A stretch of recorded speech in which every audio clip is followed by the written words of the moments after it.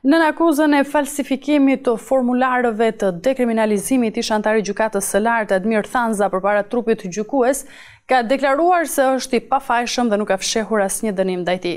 Gjykata e Tiranës ka dhënë ditën e sotme dënimin prej 18 muaj shërbim prove, ndërkohë më herët prokuroria e kryeqytetit kishte kërkuar dënim me 18 muaj burg.